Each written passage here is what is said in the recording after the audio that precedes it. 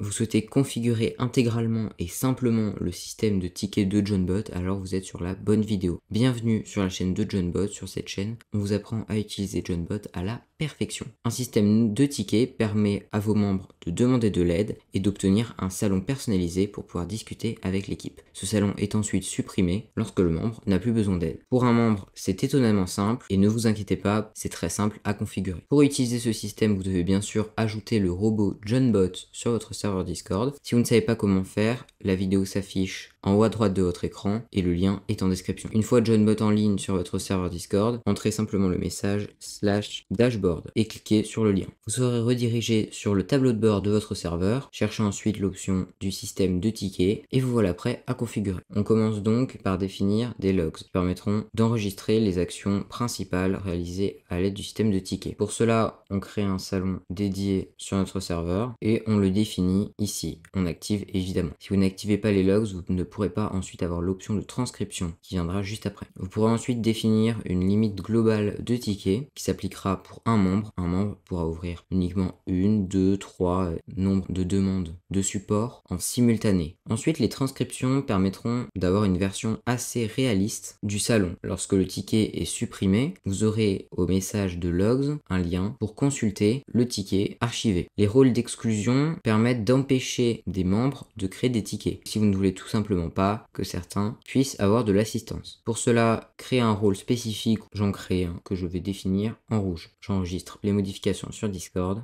et je peux définir mon rôle juste ici. On peut enregistrer et passer à l'étape suivante. On va créer un panneau. Un panneau est un type de demande. Vous pourrez en créer un certain nombre. Par exemple, des demandes liées à l'administratif, des demandes liées à la modération, des demandes liées à la communication ou même à l'animation et que sais-je. On va en créer deux dans notre exemple. Pour cela, on fait créer et on entre un nom. Ce ticket sera pour la modération. Vous pourrez ensuite entrer un type du nom de salon. Vous pouvez utiliser les variables. Vous avez tout simplement aller sur internet et chercher JohnBot variable. Le lien recherché est en description, ne vous inquiétez pas. Cliquez sur le lien variable. Vous pourrez ensuite utiliser tout type de variable. Vous avez énormément de choix. On la copie simplement et on vient l'utiliser juste ici. Vous pourrez rajouter n'importe quel texte. Donc moi, je vais mettre modération. Et voilà, tous les tickets seront comme ceci. Donc si je m'appelle Abel, il y aura marqué Abel-modération dans le nom du salon. Ensuite, vous devez définir une catégorie de création de tickets. Où les salons sont-ils créés? Sur votre serveur Laissez cette case vierge pour que les salons créé tout en haut du serveur sans catégorie. Pour ma part, je définis la catégorie salon textuel. Vous pourrez ensuite définir une catégorie où les tickets iront se ranger avant d'être supprimés lorsqu'ils seront clos par l'équipe d'assistance. On verra cette option juste après, c'est pour les modèles. On la laisse vierge pour le moment. Vous pourrez définir la période d'inactivité avant l'envoi d'un rappel, un rappel qui mentionnera tous les membres du ticket pour les prévenir que le ticket est inactif depuis un certain temps et qu'il serait bon de le reprendre en main ou de le fermer. Vous pourrez bien sûr désactiver l'option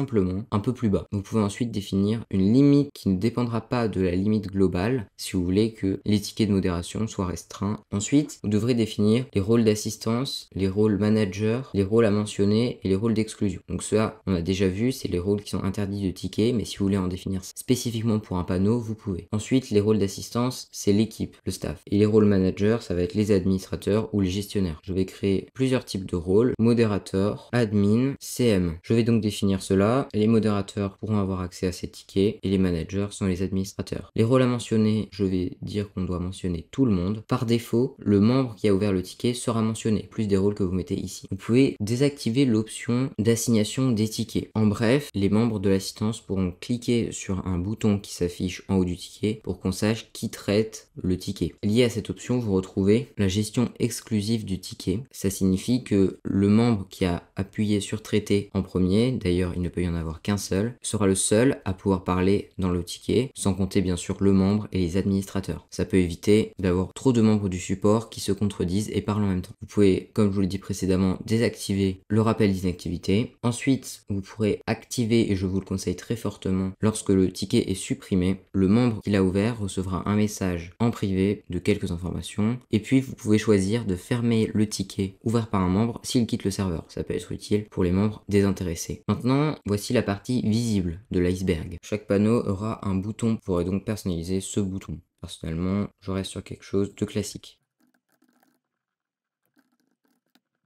Notez que la description du bouton ne sera visible que lorsque vous utilisez les menus de sélection, dont on parlera plus tard. Avec les permissions, vous pouvez définir quels membres ont le droit de créer un ticket. C'est à l'inverse des rôles d'exclusion, ce sont les membres qui ont le droit uniquement. Si vous laissez vierge, tout le monde aura le droit, à part ceux qui ont le rôle d'exclusion. Quels sont les membres qui ont le droit de traiter le ticket quels sont les membres qui ont le droit de réouvrir le ticket, de fermer le ticket et de supprimer le ticket. Je vous laisse remplir cela si vous en avez besoin. Mais par défaut, tout est très bien géré, ne vous inquiétez pas. Vous pourrez activer la création d'un fil de discussion réservé à l'équipe. Toute l'équipe d'assistance pourra le voir, sauf le membre. Donc si vous avez besoin de discuter entre vous, si le sujet est complexe. Vous pourrez ensuite personnaliser quelques options. Par défaut, cela fonctionne très bien. Ensuite, le message d'ouverture sera visible au début du ticket. Il informera le membre de ce qu'il en est par rapport à ce ticket et de la bonne démarche à suivre. Vous pourrez choisir de faire soit un simple message, soit d'activer l'embed. Je vous laisse personnaliser tout ça. Notez que vous pouvez utiliser les variables, tout comme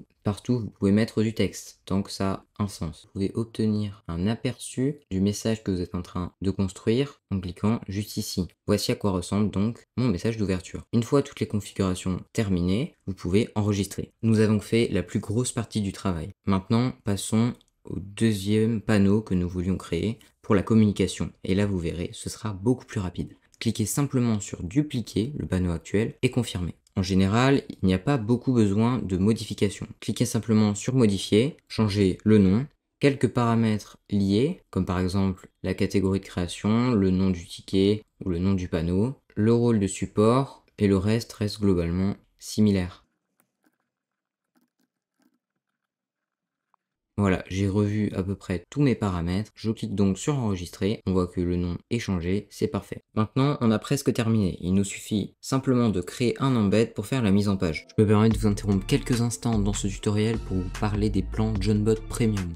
En vous abonnant à partir de 2,50€ par mois pour 3 serveurs, vous contribuez à rendre JohnBot accessible à tous. Pour vous remercier, vous avez accès à de nombreux avantages, notamment sur le système de tickets. Vous pourrez avoir de la personnalisation très avancée et des limites complètement mises de côté. N'hésitez donc plus, faites confiance à JohnBot Premium. Bonne vidéo, nous verrons ensuite les modèles, mais ce sera très rapide, vous verrez. Un embed, c'est donc le message que vous allez envoyer dans un salon. On va donc choisir le salon qu'on souhaite. Je vais en créer un qu'on va appeler support. On le sélectionne sur le tableau de bord et on va choisir les panneaux liés à ce message qu'on va envoyer, à cet embed donc. Choisissez bien l'ordre, il est important. Vous pouvez ensuite personnaliser votre embed comme bon vous semble. C'est donc le message qui sera envoyé avec des boutons sur lesquels le membre pourra cliquer. Personnalisez donc le, rendez-le attractif, expliquez bien quel est le but du support.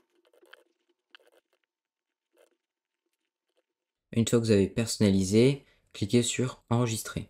Enfin, il nous reste une dernière étape qui est facultative si vous ne souhaitez pas créer de modèle, c'est-à-dire un petit formulaire qui va venir juste ici pour vous demander quelques questions qui sont personnalisables, eh bien vous pouvez passer au reste de la vidéo.